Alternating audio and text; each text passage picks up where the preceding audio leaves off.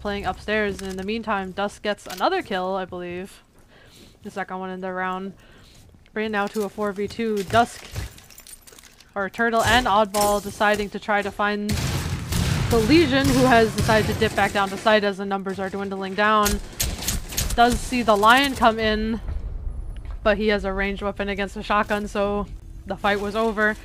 And FLCC bring it back back into the lead.